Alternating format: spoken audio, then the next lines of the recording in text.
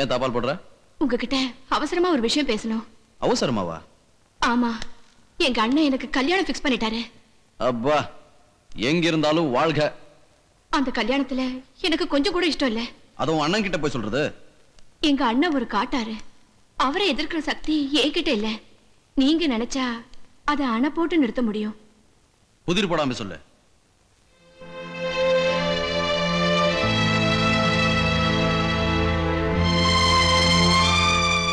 என்ன தாலியை காட்டுற? எங்க அண்ணன் செஞ்சிருக்கிற இந்த ஏற்பாட்டுல இருந்து நான் தப்பிக்க வேற வழியே இல்ல. தயங்காம என் கழுத்துல இங்கேயே மூணு முடிச்சு போட்டுடுங்க. மூணு முடிச்சுக்கு என்ன அர்த்தம் தெரியுமா? பிறந்த வீட்டுக்கு பெருமையும் புகுந்த வீட்டுக்கு கௌரவத்தையும் வரப்போற தலைமுறையோட அந்தஸ்தையும் உன்கிட்ட ஒப்படைச்சிருக்க? அதை காப்பாத்த வேண்டியது உன்னுடைய பொறுப்புங்கிறத ஞாபகப்படுத்த தான் மூணு முடிச்சு போடுறாங்க. நீ என்னடான்னா ரொம்ப சாதாரணமா சொல்லிட்டிய. தயவு செஞ்சு எதையாவது சொல்லி மறுத்துறாதீங்க. மறுக்காம நான் உன் இஷ்டப்படி செஞ்சேன்னா உனக்கு ஓடுகாலி பட்டமும் எனக்கு கள்ளத்தாலி கட்டம் வாங்குற கெட்ட பேர் தான் மிஞ்சும். சரி வாங்க ஊரறிய கோவில்ல வச்சு தாலியை கட்டுங்க. அதுக்கும் நான் சம்மதிக்கிறேன். ரேகா அன்னைக்கு நான் சொன்னதுதான் மறுபடியும் சொல்றேன். நான் என் மனசுல நினைச்சிட்டு இருக்கிற பொண்டாட்டி நீ இல்ல. நிச்சயம் நீங்க நினைக்கிற மனைவியா? என்னால வாழ்ந்து காட்ட முடியும். அதனால எத்தனை சோதனை வந்தாலும் நான் ஏத்துக்க தயாரா இருக்கேன். எனக்கு நீங்க ஒரே ஒரு ஒரே ஒரு சந்தர்ப்பம் தாங்க என்ன கைவிட்டுடாதீங்க. தயவு செஞ்சு கைவிட்டுடாதீங்க. இத பாரு. வீண் பிடிவாதம் பண்ணாம வீட்டுக்கு போயிடு. உங்களை என் மனசுக்குள்ள புருஷனா நினைச்சிட்டு எப்படிங்க நான் இன்னொருத்தரோட போய் வாழ முடியும்? அதுக்கு நான் பொறுப்பு இல்ல. அதை விட நான் சாகிறது மேலுங்க. முதல்ல இங்க இருந்து போறியா இல்லையா? இதான் உங்க முடிவா? ஆமா.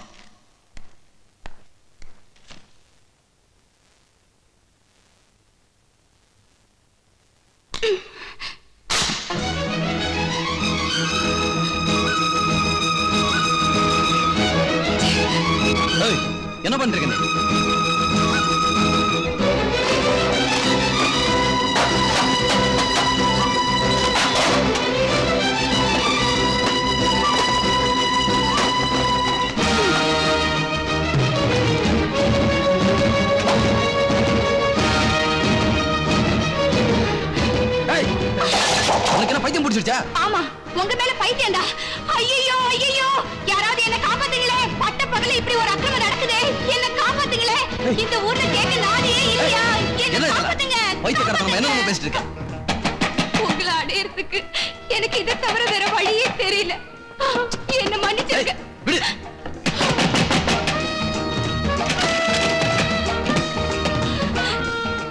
அட பாவி நீ ஒரு மனுஷனா? நீ எல்லாம் அக்கா தங்கச்சி கூட பிறக்கல? உன்னை பெத்தவளும் ஒரு பொம்பளை தானே? எங்க அண்ணனுக்கும் உனக்கும் இருக்கிற பகைக்காக என்ன நீ பலிக்கடா ஆக்கணுமா? ஐயோ எனக்கு கல்யாணம் நிச்சயம் பண்ணிருக்கிற இந்த நேரத்துல இப்படி என்ன கெடுத்துட்டியே. நீ நல்லா இருப்பியா? நாசமா போவ. ஐயோ. ரேகா களங்கப்பட்டு போன என்ன எவன் இனிமே ஏத்துக்குவா? கடவுளே நீதான் காப்பாத்தணும். நீதான் பாத்துக்கணும். போய் சொல்லிட்டு போறா? என்ன அப்படி பாக்குறீங்க அந்த பொண்ணு பெரிய நாடகம் ஆடிட்டு போறா அவ சொல்றது நம்பாதீங்க நடந்தது என்னன்னு நான் சொல்றேன் நீ வேற சொல்லுமா பாவம் அந்த பொண்ணை பார்த்தாலே தெரியுது அவ உன்கிட்ட எப்படி போராடி இருப்பான்னு என்னங்க நீங்களே ஒரு முடிவுக்கு வராதீங்க என்னையும் கொஞ்சம் பேச விடுங்க என்ன பேச போற ரொம்ப நாள் பகைய இந்த பொண்ணு உனிமா தேத்துக்கிட்ட அவ்வளவுதானே ஐயா யோக்கியம் தானே ஓங்கி பேசுவா உன்கிட்ட தான் அது இல்லையே இவங்கிட்ட நீயா பேச்சு வாங்க போய் வேலை வெட்டியை பாப்போம்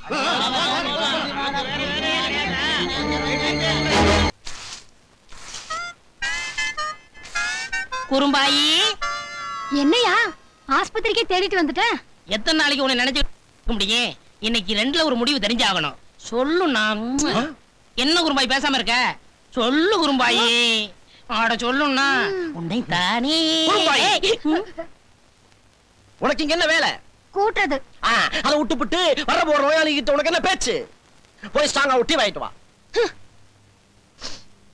யோ பய ஆ, உனக்கு என்ன பண்ணது? உடம்புல விண்ணு விண்ணுன்னு தெரிக்குது. குறிப்பா என்ன வியாதின்னு சொல்லியா? அதை நீங்க தானே கண்டுபிடிக்கணும்? கண்டுபிடிக்கிறேன். கண்டுபிடிக்கிறேன். ஒரே மாத்திரையில உன்னை கிளியர் பண்றேன். போய் உட்கார்.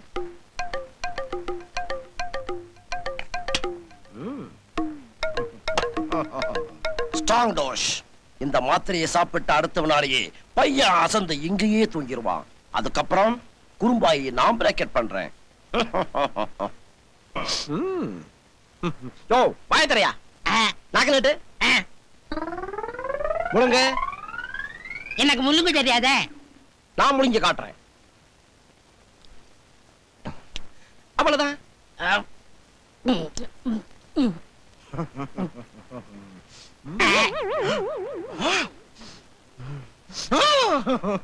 இப்போ உன்னை முழுங்க வைக்கிறேன்.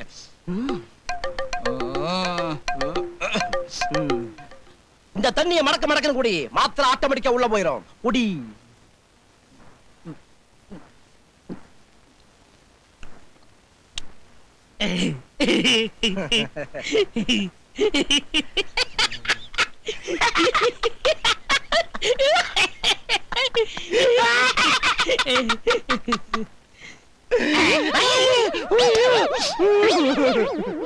யோ வேணும்னா மாத்திரை முழுங்க மாட்டேன்னு அரைச்சாட்டியம் பண்றியா?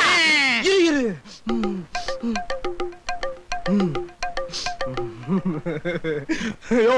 இந்த ரொட்டியாவது நச்சு நச்சுன்னு மென்னு முழுங்கய்யா அப்பவாவது மாத்திரை உள்ள போகுதா இல்லையான்னு பாப்போம்.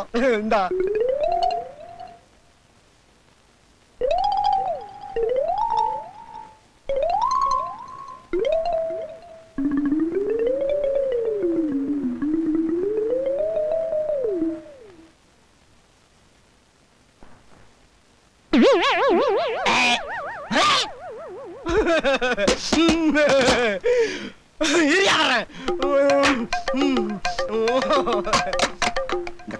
குழாய் வழியா மாத்திரையை ஊதியே உள்ள தள்ளிடுறேன்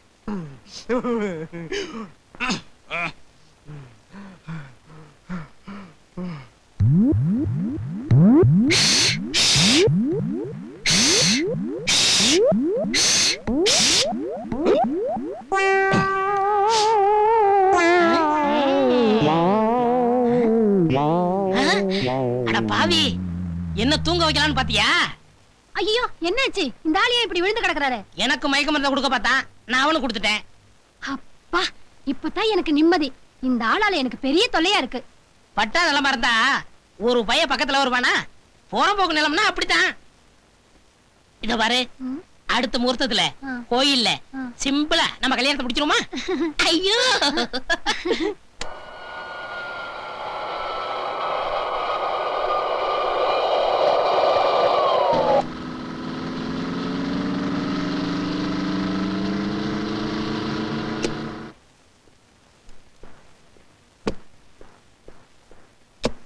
லக்ஷ்மி?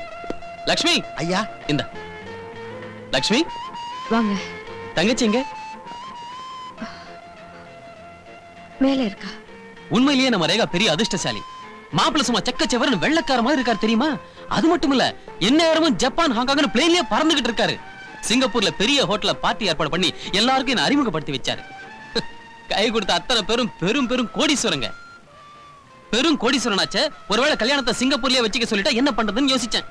நம்ம ஊர் சம்பிரதாயப்படி இந்த கிராமத்துல இந்த கல்யாணம் இங்கதான் நடக்கணும்னு சொன்னார் பாரு. அசந்துட்டேன்.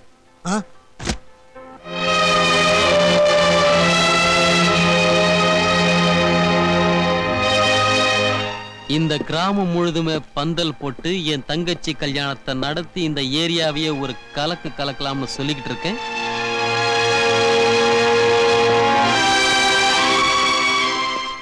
ஏன் எல்லாரும் பேரஞ்ச மாதிரி நினைக்கிறீங்க ஏற்கனவே இந்த ஏரியா கலங்கி போய் தாங்க இருக்கு. இவ்ளோ பெருமையா பேசிட்டு இருக்கீங்களே. அந்த சிங்கப்பூர் சம்பந்தம் இனிமே நமக்கு ஒத்து வராது. நிறுத்திருங்க. என்னடி? என் தங்கச்சி பெரிய இடத்துல வாழ்க்கப்பட போறாங்கிற பொறாமையா? பொறாமப்படுறேனா ஹம், அவளுக்கு ஒரு நல்ல வாழ்க்கை அமையணும்னு தினம் தினம் தெய்வத்துக்கிட்ட வேண்டிட்டு இருக்கேன்னா பின்ன ஏன் இந்த கல்யாணத்தை நிறுத்த சொன்ன? அந்த காரணத்தை சொன்னா உங்களால தாங்கிக்க முடியாதுங்க. ஊடகமா பேசி என் பொறுமையை சோதிக்காத. பொட்டுன்னு போட்டோட ஒரு பொண்ணுக்கு எதுங்க முக்கியம்? யார கேட்டாலும் கண்ணை மூடிட்டு கற்புன்னு சொல்லுவாங்க. அத பறி கொடுத்துட்டு வந்து நிக்கிறா உங்க தங்கச்சி. என்ன சொல்ற? என் தங்கச்சி கற்ப பறி கொடுத்துட்டு வந்து நிக்கிறாளா? என் தங்கச்சி மேல கைய வச்சவன் யாரு? யார் அவன்? மாணிக்கம். மாணிக்கமா? அவன? ஐயோ வேண்டாங்க.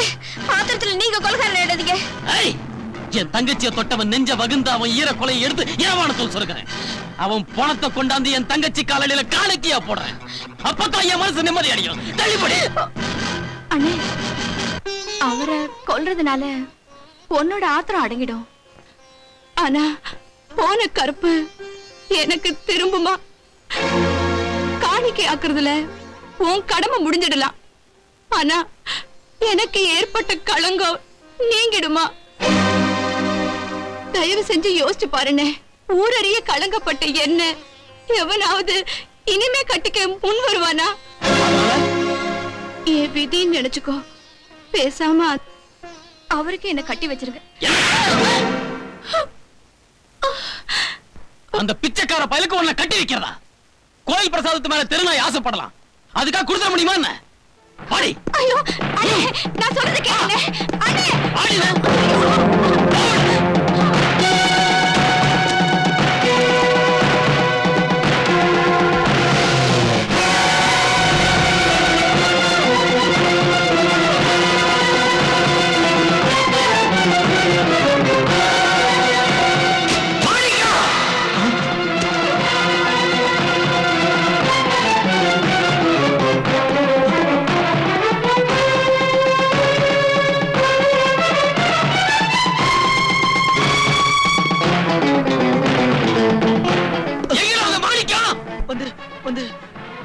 அவர்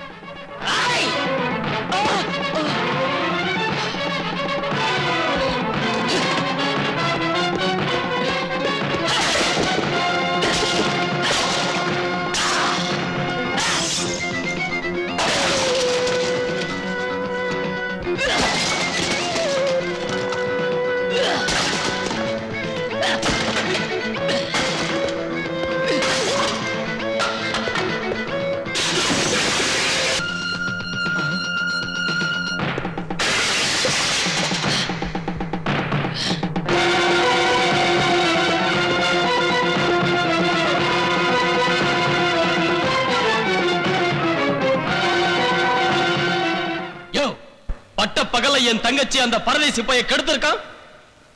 நீங்களாம் வேடிக்கை பார்த்துட்டு சும்மா இருந்தீங்களா? ஓ அக்கா தங்கச்சிக்கு இப்படி நடந்திருந்தா நீ சும்மா இருந்திருப்பியா? எல்லாரும் நல்லா கேட்டுக்குங்க.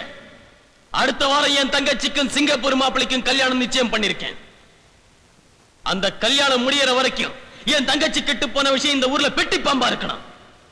இதையும் மீறி இந்த விஷயம் இந்த ஊர் எல்லையை தாண்டிச்சுன்னா இந்த ஊரைய தீ வச்சு கொளுத்துறவன் ஜாக்கிரதை.